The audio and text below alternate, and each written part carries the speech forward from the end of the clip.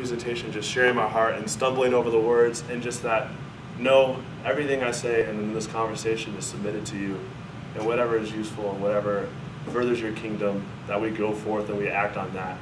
But whatever is just fluff or whatever is not truly pointing to you just falls to the side and is left behind. Lord, I pray for these parents as they uh, enter service and that they're just filled with the Holy Spirit and for worship and ready to listen to your word from Pastor Daryl this morning and just that you protect them and watch over them this week as summer begins and as they travel on vacations and as family time happens, Lord. And uh, just be with them this week. And ask for this in your name. Amen. Amen.